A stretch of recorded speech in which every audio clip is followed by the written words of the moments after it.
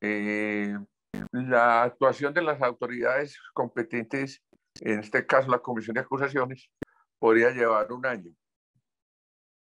Es demasiado tiempo. Eh, la Comisión de Acusaciones goza del mejor prestigio nacional.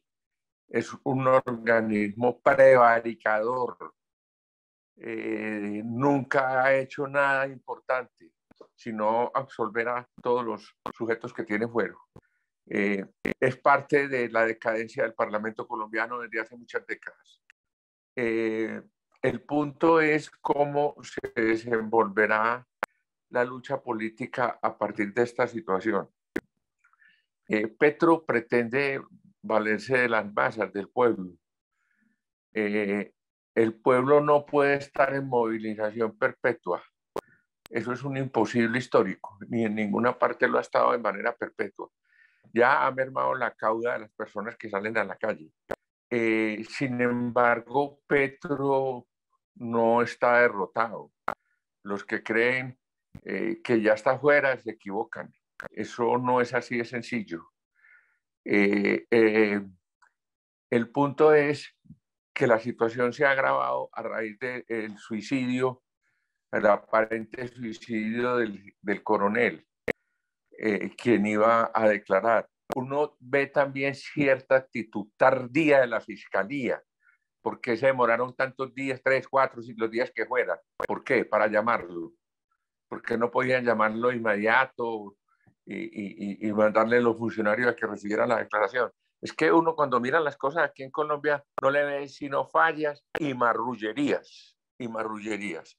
Entonces, el caso no está claro, eh, algún sector de la prensa que a veces es muy escandaloso trata de sacarle partido a eso. Eh, no es fácil. Eh, una investigación de ese tipo es muy lenta. El país está lleno de hechos oscuros. Eso ha ocurrido muchas veces porque esto es un Estado fallido.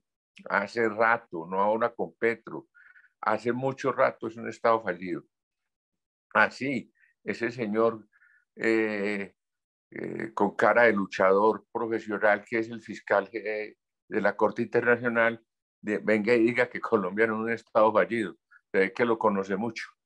Eh, eso para evitar que, que el negocio de la JEP fuera a caer allá a la Corte Penal Internacional, en lo cual estaba muy interesado Petro la sociedad colombiana está atravesando un momento muy difícil, muy complejo. La polarización ha aumentado. Eh, no es lo mejor para el país. No es lo mejor para el país.